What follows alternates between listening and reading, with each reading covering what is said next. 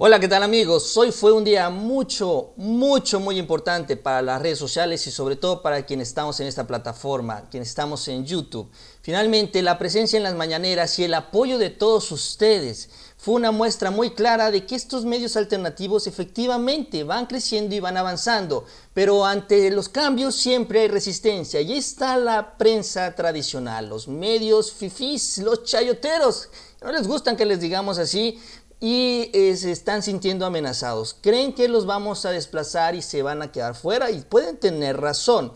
Entonces ante esta situación empiezan a hacer lo que tanto se les critica, empiezan a manipular la información. Es increíble que cuando justamente se les señala por mentir, por engañar, por faltar a la verdad, lo que estén haciendo ahorita es justamente eso, acusar a los youtubers de que llegamos a agredirlos ahí en las mañaneras en estos últimos días. Es increíble. Y vamos a iniciar de entrada con eh, pues el, reporte. El reporte no se manejó muchos medios, el Sendero del Peje se atrevió a sacar parte de la información de lo que ocurrió en la mañana, el apoyo de todos ustedes a los youtubers. Muchas gracias, realmente fue un gran momento.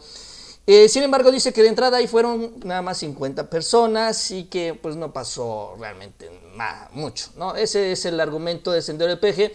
Sin embargo, esa es la parte bonita porque hasta nos fue bien, simplemente se consignó el evento. Sin embargo, lo malo es, y empieza a iniciar ya a partir de esto. A través de esta agencia informativa Argon México sale esta nota. Agreden youtubers a periodistas en Palacio Nacional. Así, agreden youtubers a periodistas en Palacio Nacional, como si hubiéramos llegado a pelearnos con todos los que estaban ahí, a gritonearnos, a empujarnos, muchas cosas más. Es más, esa imagen que subió Nacho a sus redes sociales, ahí está, miren, esa es la foto que él subió, la retoman también ahí y le ponen en los ojos esa franja negra, como si fueran delincuentes, así, Así agarraron esta imagen. Lo más triste de todo esto para ellos es que uno de los que aparece ahí es el propio Jesús Ramírez, el director de comunicación, que es el que está al lado derecho de Nacho, y también lo pusieron como delincuente. Bueno, imagínense cómo está la nota. Vamos a leerla. Alejandro Lelo de la REA, que es Lord Newton, está denunciando que en Presidencia de la República dejaron entrar a Palacio Nacional a youtuberos quienes se han dedicado a ofender a los periodistas que cubren la fuente presidencial. Dijo Lelo de la REA. Solo respeto, no se vale que estos amigos y youtubers traigan gente a Palacio, se aposten en la puerta y a todos los periodistas que salen y entren los agredan diciéndoles corruptos, chayoteros, prensa vendida. Eso es lo que dice. ¿Están permitiendo la entrada a quienes traen gente para agredir a periodistas? Pregunta. ¿Es tolerado por la presidencia? Segunda pregunta. Y esa es la nota. La nota es que, según ellos, nosotros convocamos a la gente para que estuviera fuera de Palacio Nacional para primero en chantajear para entrar al Palacio Nacional y en segundo lugar para criticar, agredir e insultar a la prensa FIFI. Entonces, eso es completamente equivocado, pero también se exceden con el título, definitivamente. Agreden youtubers a periodistas en Palacio Nacional. Pero es así, mala lechosa de principio a fin la nota. Incluso es replicada ya por algunas páginas como el grupo Fórmula, que saca exactamente lo mismo, ¿no? Finalmente, youtubers agreden a periodistas en Palacio Nacional. Y es que la idea es esa, ellos quieren vender la información de que nosotros convocamos a la gente, los youtubers, para que estuvieran ahí justamente para eso. Ese es el argumento que quieren presentar no ante la opinión pública, sino ante Jesús Ramírez de Comunicación y toda su gente que opera con ellos, porque lo que quieren es que no entremos, no participemos en las conferencias mañaneras, no llevemos las voces de las redes sociales, porque no somos los profesionales que son ellos como reporteros y como prensa tradicional. Hay una evidencia todavía más clara. Miren esta entrevista que aparece en otro medio que eh, se llama Telediario y tuvieron una reportera hablando con la gente afuera. Y ella estaba tratando de sacar información sobre la convocatoria, sobre justamente encontrar una declaración donde alguien dijera, sí, nos invitaron a protestar y a reclamar y a agredir a la prensa tradicional. Miren las preguntas que le hace a la señora y miren la respuesta, porque ella dice lo que realmente sucedió, que son cosas completamente distintas. ¿Cómo se siente de estar en esta manifestación? Muy bien, muy contenta de que están aquí los YouTube y que es la nueva mm, tendencia a, este, a los medios de información. ¿Cómo se enteró de esta convocatoria? Porque estamos sobre, todos, sobre todo los que vinieron, los, este, los estos youtuberos, hicieron este, la propaganda y aquí estamos todos. Ah, ¿ellos los invitaron? Sí, y que ellos iban a estar el miércoles toda la semana, pero el miércoles en especial, y aquí estamos todos. ¿Cómo les dijeron? O sea, ¿cómo fue? Que van a venir aquí a la mañanera y pues los que quisieran este, venir a participar, pues venimos. A o sea, a participar, a apoyarlos. Sí, apoyarlos aquí afuera, pues no podemos entrar al palacio, pero aquí afuera darles la bienvenida porque todos vienen de fuera. Ah, exactamente cómo fue la convocatoria. ¿Qué les dijeron? ¿Vengan a apoyarnos porque no nos dejan pasar o cómo? no. O Que sea- iban a estar aquí de visita en México y que pues iban a estar aquí, pues nosotros dimos por hecho que podíamos venir a saludarlos, a, para este, a estrechar su mano. Claro. ¿Nos puede dar su nombre, por favor? Gracias. de nada. Y es que así, así fue. Digo, ustedes que ven nuestros videos, siguen nuestras redes sociales, saben que realmente así fue. Algunos estamos acreditados, otros no estamos acreditados.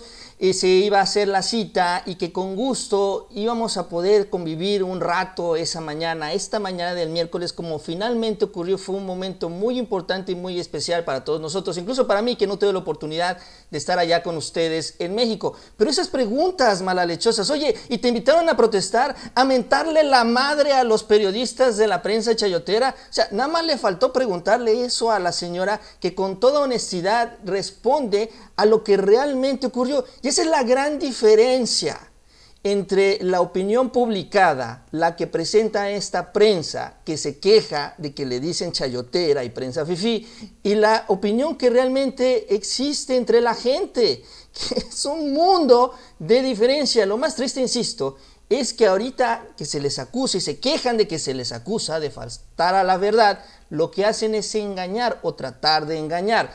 Y es que la parte importante de todo esto es el acceso a las mañaneras. Ellos sienten, honestamente sienten, que es un lugar especial, un lugar exclusivo para ellos, donde ellos tienen el monopolio de las preguntas con el presidente, donde si no quedas bien conmigo, entonces mi reportero va a hablar o va a hacer preguntas muy incómodas. Y ese monopolio se rompe con la llegada de las redes sociales. Miren lo que escribe el reportero de TV Azteca, Irving Pineda, que acompañó a Andrés Manuel durante la gira, que está ahí en las mañaneras y pasa el reporte todas las mañanas en TV Azteca. Y responde a un comentario, miren el comentario, dice, me informan que la influyente dueña del portal Oro Sólido, Nancy Rodríguez, llegó a la famosa mañanera con un grupo de youtuberos, pero que no los dejan pasar. Ese es, ese es el argumento que llegamos a chantajear. Oye, Irving Pineda, dicen mis tías que si un día de estos te pueden acompañar a Palacio. Dice Irving, seguro, ya ves que la línea es el desorden. Es decir, que eh, para el hecho de que entren los youtubers o las redes sociales a la matutina, la conferencia mañanera, es un desorden, no cumple los protocolos de lujo de la conferencia entre los reporteros. Y así es como se sienten, así es como ellos están viendo todo esto. Es más, también en la misma conferencia matutina se dio una participación del reportero de, eh, de Uno TV, donde acusa también a los youtubers justamente de andar eh, pues diciéndole a la prensa publica, una de Guadalajara publica un, eh, un estudio acerca de una red coordinada de eh, simpatizantes del presidente, de usted, que han, eh, pues bueno, implementado estrategias para, para atacar a la prensa eh, cada vez que sienten que se le está cuestionando de manera injustificada. Artículo 19, esta organización que defiende la libertad de expresión, publica también un, eh, una opinión acerca de que esta red se está apoyando también de algunos youtubers, de algunos blogueros que llaman a la prensa chayotera o vendida. Y esto se adereza además con el discurso presidencial de llamar a la prensa fifi. ¿Qué opina de estos estudios que se publican? Y pues bueno, esas serían mis tres preguntas. Gracias. Otra, otra de las cosas que no entienden estos reporteros y los dueños de los medios es que, o más bien no lo dicen, es que no es algo que hayamos inventado nosotros. Nosotros no les dijimos o les empezamos a decir chayoteros o hasta la prensa fifi, pues se fue Adnes Manuel, ni siquiera fuimos nosotros. Esos términos ya existían y a los chayoteros ya les decían chayoteros antes de que llegáramos los youtubers. Es decir, no lo inventamos nosotros, no lo creamos y no lo propagamos nosotros. Así es como los ve la gente y los ve por todo lo que estamos viendo justamente en este video. Y ya para terminar y conociendo todo este escenario les voy a platicar una información que no les puedo presentar en pantalla, pero es una fuente confiable, que está en uno de los chats de estos reporteros, donde están muy incómodos y muy molestos por estas muestras de afecto y la posibilidad de que sigamos fortaleciendo nuestra presencia en las mañaneras. Dicen que van a enviar o están organizándose para enviarle una carta dirigida, firmada por la mayoría de los reporteros, ojo, no todos, pero pues van a buscar consenso, dirigida a Andrés Manuel, donde le van a pedir que no permitan que personas como nosotros, que estamos convocando protestas afuera del palacio para insultarnos, pueda participar en las conferencias mañaneras porque sería muy incómodo para ellos llegar a un ambiente hostil. Así de esa manera ellos quieren presionar para que el área de comunicación social bloquee los accesos de los medios alternativos a las conferencias mañaneras y se mantenga como algo exclusivo para estos medios tradicionales donde ellos quieren influir y donde quieren utilizarla para presionar al presidente de la República. Así de ese nivel es la estrategia y vamos a ver qué resulta. Y viendo todo lo que estamos aquí, que es público, que les acabo de presentar, pues no sería raro, honestamente, porque si hay preocupación de este gran cambio que el día de hoy se reflejó afuera del Palacio Nacional. Bien amigos, pues es todo. Gracias por acompañarnos. Les invito a que se suscriban y nos vemos a la próxima.